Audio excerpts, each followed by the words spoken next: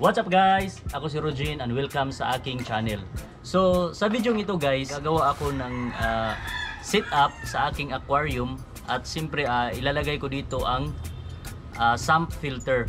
So ito guys is uh, naano ko na to, naabandona ko na to na aquarium kasama na yung uh, setup ko na uh, sump filter. So ngayon is i-restore ko at uh, ayan, nauna ko na po ang aquarium. Ito, malinis na. So sa mga gusto pong makita kung paano yung technique ko sa paglinis ng aquarium at i-restore natin ang malinaw na aquarium. Dahil maraming mga aquarium ang naabandona na at saka magkakaroon ng mga watermarks. So may technique ako doon kung paano yun nililinis at saka nandyan po ang link sa baba ng video ito dyan sa description section para makita nyo kung paano ko nililinis. So anyway guys, ngayon isa ipapakita ko sa inyo ang aking uh, sit up para sa mga goldfish. So tara guys, samahan niyo ako.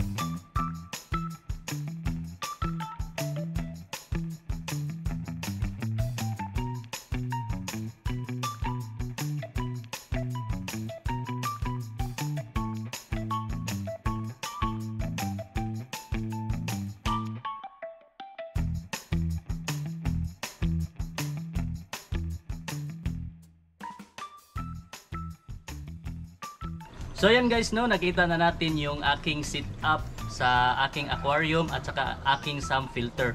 So I hope guys na may natutunan kayo sa mga ganito. So ito nakakatulong itong mga stone na ito. Dito tumitira yung mga good bacteria. So ayun guys, maraming maraming salamat sa mga nanonood at see you sa aking mga next video. Paalam!